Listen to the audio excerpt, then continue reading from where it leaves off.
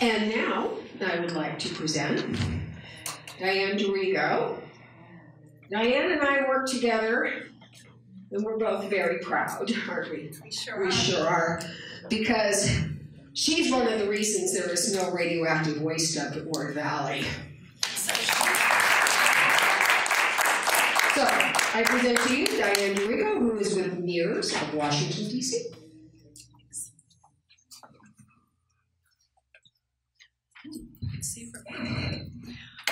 Okay.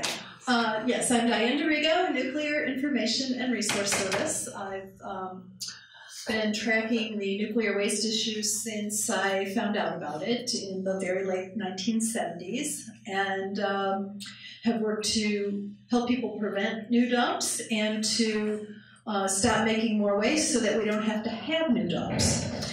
What I was asked to talk about today is um, the threat of centralized interim, so-called interim storage. So I'll give a little context to that. What I'm going to go over are um, the dangers of radioactive waste, which Kevin touched on, and how it's stored. And he already showed us the pools and the, the dry storage uh, containers. They are thin and thick walled, and various different types of vertical and horizontal. Um, why centralized storage is being proposed, even though it doesn't make any sense, and the dangers of transport, which Kevin covered, uh, dangers of reprocessing if we have time, um, coming from a place that reprocessed irradiated nuclear fuel, and um. I will go over the federal legislation and the licensing that are underway right now of the centralized storage site. So what I'm not going to really delve into, but I want to let you know is happening. Um, there are various government designated classifications of radioactive waste, high level waste, so called low level waste. Um, and now, despite many, many successes in preventing it, we're going to have, if we don't stop it, very low level waste, which is uh, pretend that it's not radioactive waste, waste that would go into commercial recycling, uh, reuse as consumer goods, um, also into regular garbage dumps and possibly incinerators, whatever happens with non radioactive materials. Uh, the public interest movements across this country have fended this off since it was first conceived at least 15, 17 times since I've been in my job here in Washington um, in 1986, but actually a few times before that. And like Judy Treichel says, she's was here from Nevada. Every time we win, we win the chance to come back and play the game again and fight again. When we lose, we lose badly. But when we win, we get the chance to do it over again. And so here we are again. We're going to have to stop the uh, effort by the government, the industry, the, probably the National Academy of Sciences, uh, to try to pretend that the lower level waste is not radioactive enough to worry about and let it out. But I'm here for high level waste, so I, that's what I'll say on that, unless it comes up in questions. And um, the various things that can happen with high level waste. Um, the production in the fuel pools, the storage in the, uh, I'm sorry, the production in the core of reactors, the storage in fuel pools, uh, the eventual movement then into dry storage, and then various types of containers, thin or thick walled, um, hardened outside storage, or whatever the least expensive option is that the utility can get away with. Um, even if the idea is very foolhardy, like burying it in the beach uh, in San Onofre.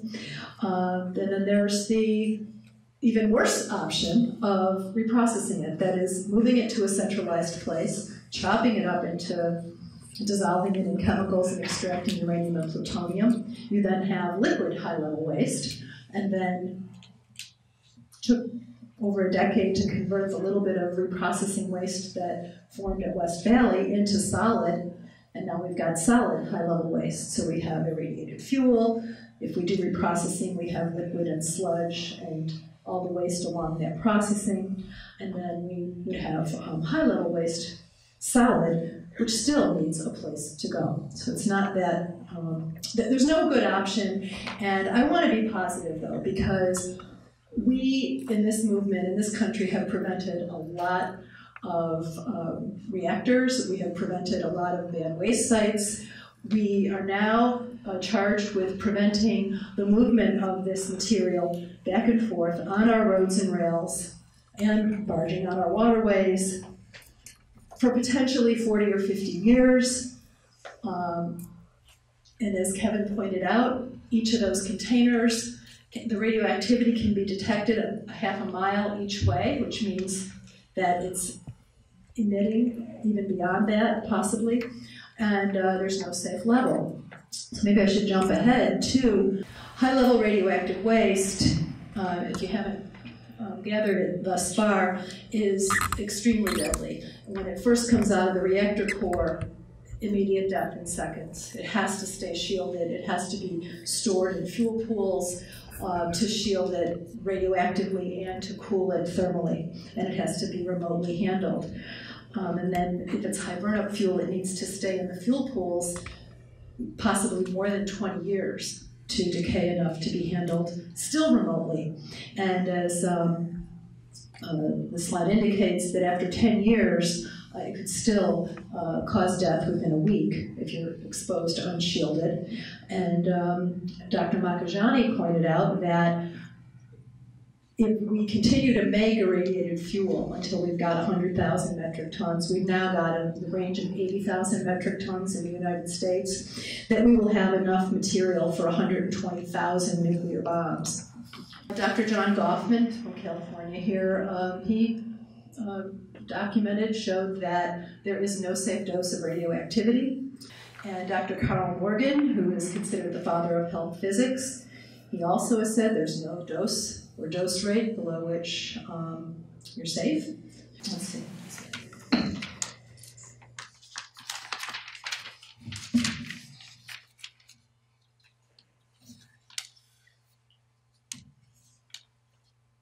Oh, I just wanted to list um, that at high doses of radiation, um, not the irradiated fuel directly, but perhaps further away if there were an accident in high doses to worker to uh, emergency responders or people downwind, that the, the, health effects from high doses of radiation are um, are acute um, radiation sickness, nausea, vomiting, fatigue, seizures, coma, skin damage, blisters, hair loss, and death. So that's the high level exposure. And then um, at low doses, cancer and reduced immunity, heart disease. Um, and the radiation establishment was careful when they first started up to only identify uh, cancer as the health effect that they would look at. So even looking only at cancer and ignoring everything else, it, it has been shown by the National Academy of Sciences uh, repeatedly and specifically in the 7 report, Biological Effects of Ionizing Radiation, that uh, women get 50% more cancer than men from the same amount of radioactivity.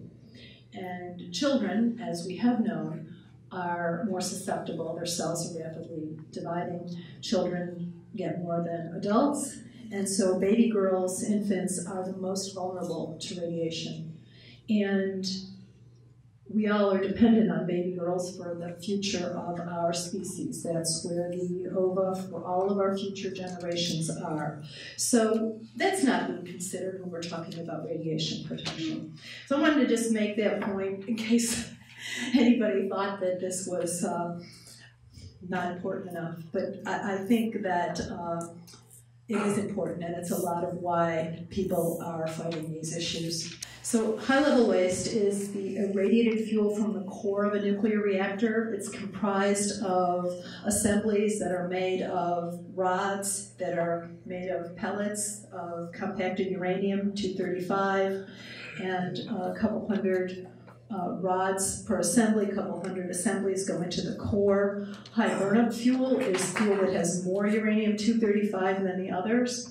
Uh, the uranium-235 in those rods, uh, when bombarded with neutrons, splits give off the binding energy to turn the water, heat the water, turn the turbines, and make electricity.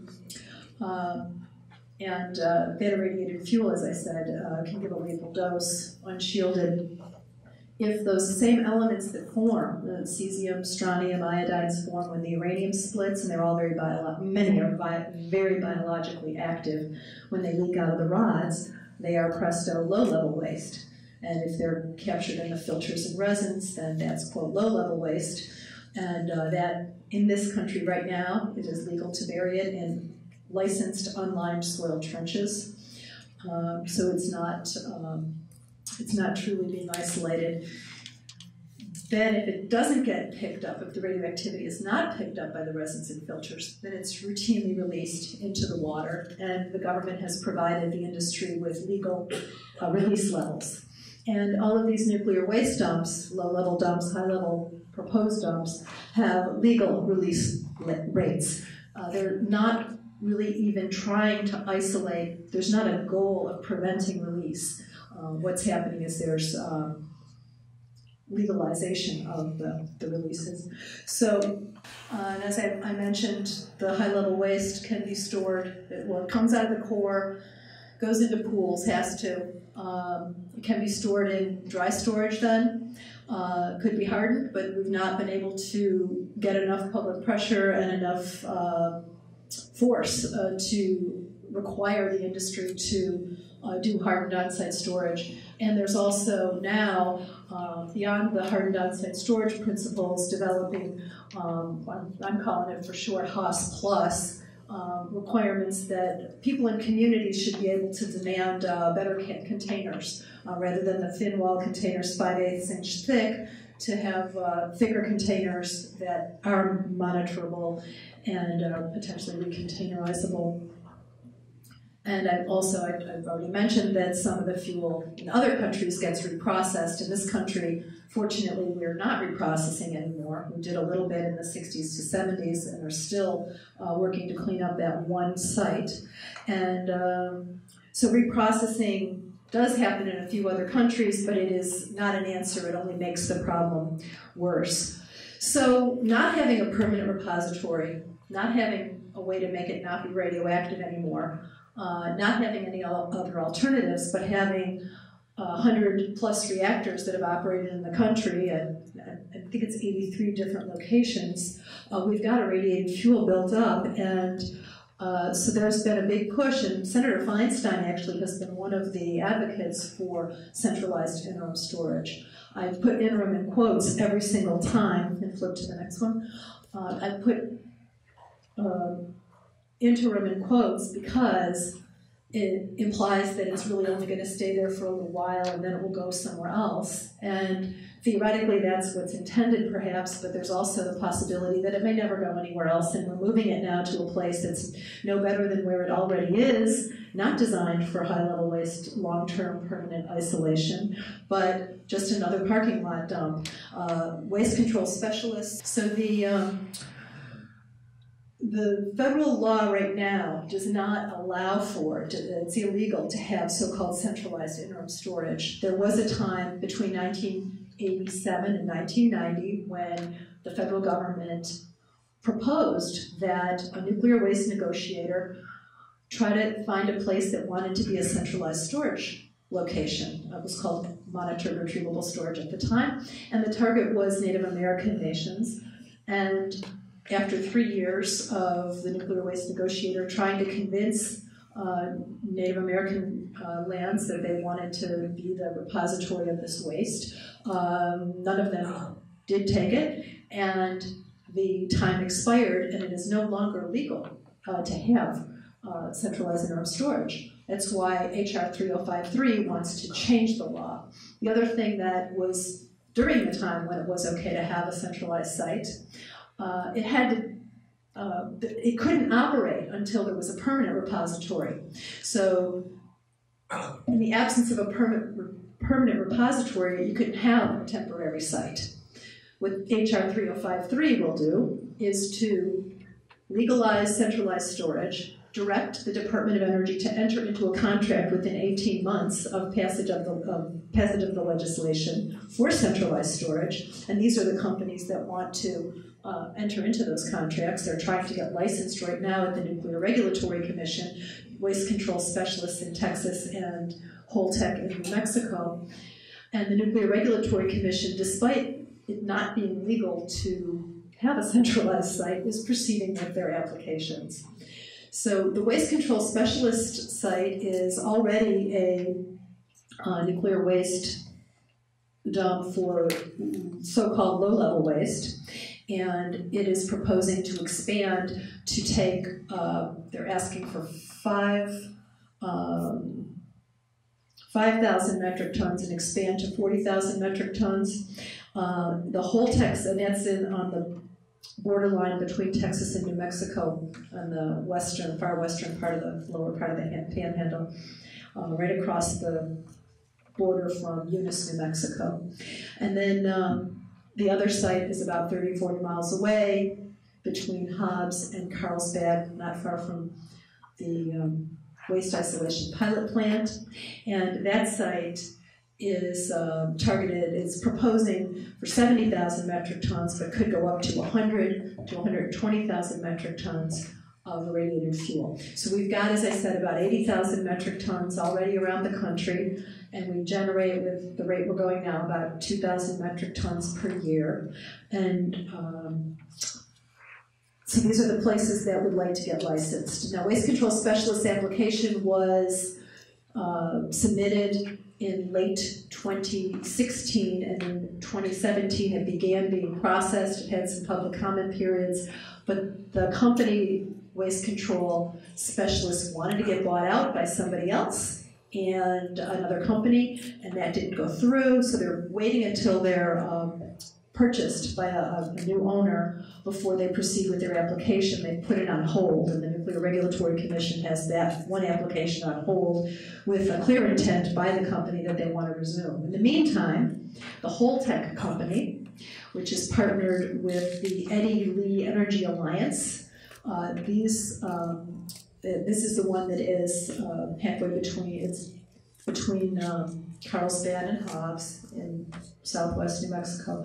And it would, uh, as I said, um, store, it, it, wants to store as much waste as we can produce in the country. They're uh, asking now for 70,000 and they would go to 100 or 120,000 if that were made. Now, their technology is to have the canisters uh, underground in uh, concrete tubes that are being built too deep.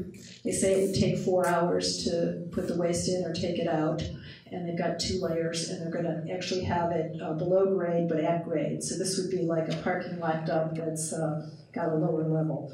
The um, waste control specialist site is a parking lot dump for containers, the same concrete containers uh, that would be um, on a pad above ground right next to its um, hazardous and mixed waste site and its um, weapons and commercial burial sites for and processing sites for other radioactive waste. Next one. Uh, Kevin showed you the transport routes uh, across the country that would uh, go to Yucca, and they're very similar to the ones that would go to the uh, West Texas site and the uh, New Mexico site. This is a waste control specialist map. Uh, their um, projection for waste coming from across the country to their site. This is a pretty light map, but you can see a, a larger view of um, where the, the sites are in West Texas and in uh, southeast New Mexico. Go ahead. This is an overview of the waste control specialist site. Um, as I said, they have other facilities already there. So-called low-level waste is not low risk. It can have all the same elements as high-level waste, as I mentioned, plutonium, cesium, strontium, and it does. And some of the waste that's buried there, they've got three different facilities. Um, some of it is uh, technically could be considered high-level waste according to the National Academy of Sciences already, and uh, there's hazardous waste there. So they want to add more to their uh, arsenal.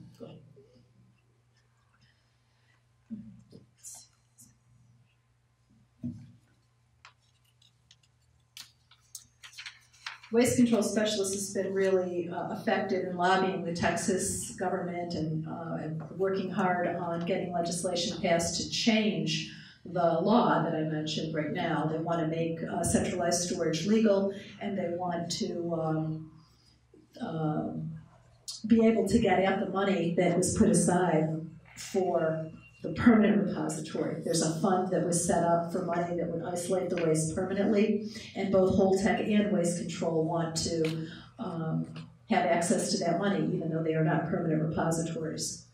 And I'm not sure what um, is on this here thing, uh, but the other thing I wanted to share is that uh, this company, Waste Control, is one of the highest contributors to former uh, governor of Texas and now D- Department of Energy Secretary Rick Perry, and he's a real supporter of, of them. Uh, the Ogallala Aquifer runs from Texas all the way up to uh, South Dakota. It's the largest freshwater body in the country, and when Waste Control was first putting in its application to have a so-called low-level radioactive waste dump in its location in West Texas, uh, they worked with and provided information to the Texas Water Board to change the map so that the Ogallala Aquifer would be six miles away from their site.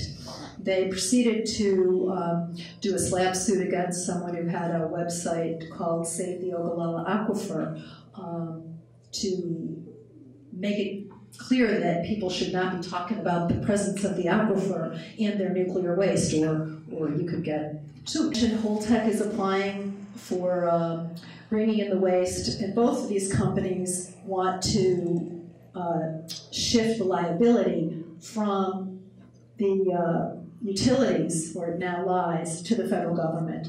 Under current law, the liability doesn't shift until it goes to a permanent site. So that's another thing that would enable uh, their their projects to work is that utilities would send their waste there because then they could get rid of liability for it. So we've got the bill in Congress, HR 3053, and I've got one-page alerts on the back table. If you could please contact your uh, Congress members um, and nearby Congress members in California. California is especially being targeted to push for this, even though it's not uh, it's not the answer. And it, it's actually going to make the problem worse because there's nothing in the legislation that moves to better storage at facilities, to better storage at anywhere that it goes, and there's no real plan for looking for uh, a real permanent solution, a permanent repository. Um, and then the uh, licensing is underway right now with uh, Holtec.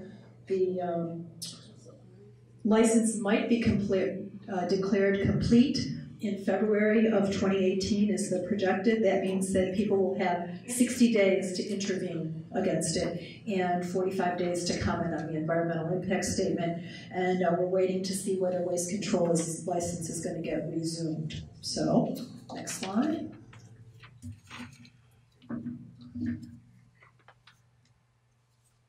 Um,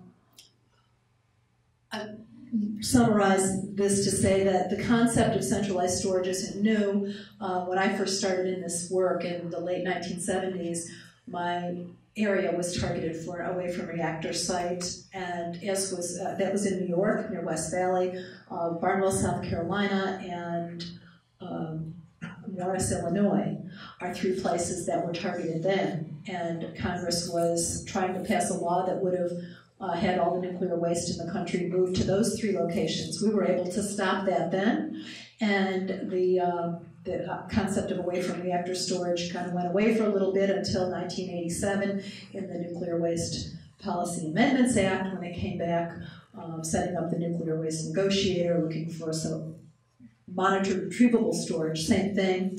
And now in this legislation, it is called it's called monitored retrievable storage, but it's also referred to as centralized interim storage. So it's the same fight, and we've stopped it over and over again. There was one site that did get licensed in Utah, and uh, private fuel storage.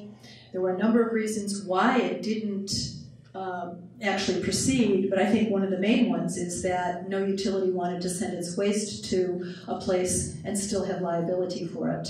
Um, there are also issues of the uh, military not even wanting it because the waste would be traveling through their land to get to it. And Kevin pretty much talked about transport, but of course it's It's not safe. Uh, there have been quite a few train uh, track tr- train fires and, and big disasters in the West Texas area in the last few years as this issue has been uh, raised, and it makes people pretty nervous.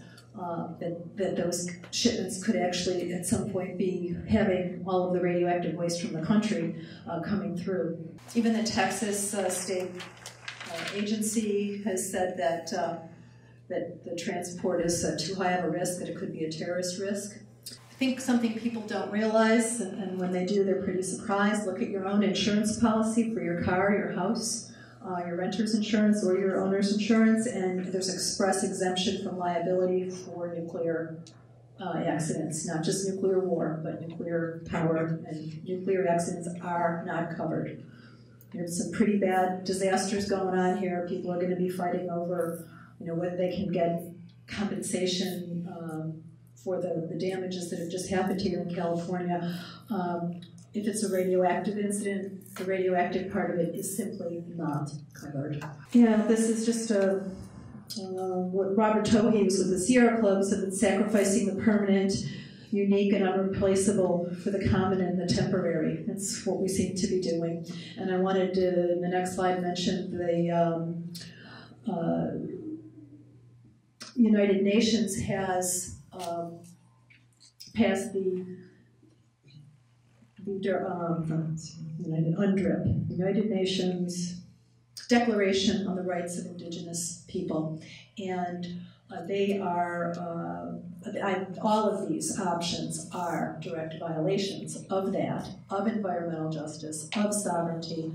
The two sites right now in West Texas are more targeted at uh, largely Hispanic communities, people of, of color, but um, Yucca Mountain is certainly um, Western Shoshone territory. It's a violation of the Ruby Valley Treaty of 1863 to even thinking about putting waste there. They never said okay to it. Some kids around uranium mining uh, sites say no to, to nuclear. And um, so, in addition to being a technical disaster, it's also a societal and moral disaster to uh, be forcing these things. And I think we can stop the legislation. I think we can stop the uh, licensing of these sites, and we're going to have to work together to do the best we can to contain what's there. And I support all the efforts to stop uh, more waste being generated here in Diablo, and thank you for all of your work um, making that happen.